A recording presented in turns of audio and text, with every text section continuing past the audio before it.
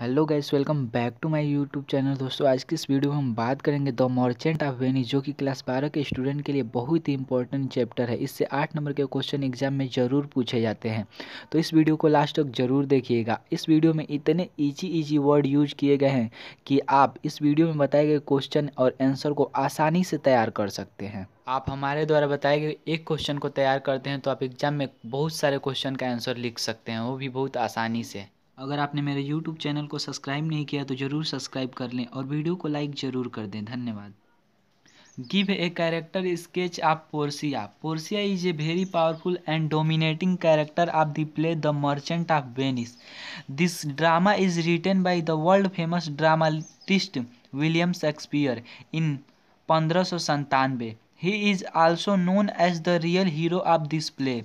Portia is a rich lady of Belmont. She is the one of the best heroine of the Shakespeare dramas. She is extremely beautiful. She is very much intelligent. It is very well said. Portia is blend of beauty and wisdom. She dominates the whole drama. She is an ideal and without selfishness. She obeys of her father. She gets married with Vasanio, who chooses the right ring according to her father.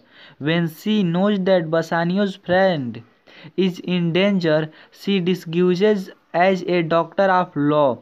She reaches in the court she makes a grand speech on mercy in support of Antonio, who is friend of Bassanio. At last, very intelligently, she shapes the life of Antonio. In this way, Portia has a strong sense of justice. She says very well, the person who shows on mercy is like God. Nothing is above mercy.